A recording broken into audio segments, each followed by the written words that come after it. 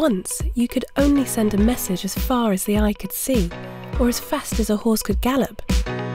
But now, the planet is crisscrossed by cables and surrounded by satellites. You can talk to anyone at any time, search the internet, stay in touch. This gallery on the second floor tells the story of the information age, and it all begins with metal wires. So at the centre of the gallery, look out for these huge webs of wire. They're part of a giant radio transmitter that sent messages out from Britain to its allies around the world for over 70 years, starting in 1926.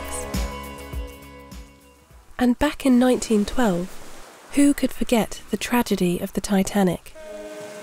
Out in the freezing sea, the colossal ship hit an iceberg and began to sink. They couldn't just phone for help.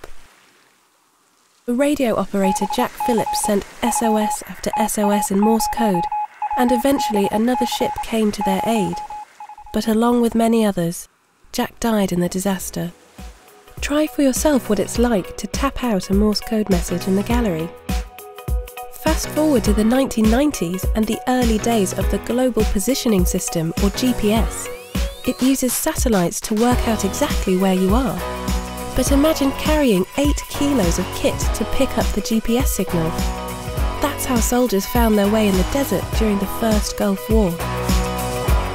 Today, you can fit a smartphone in your pocket, connecting you with GPS, email, and the internet.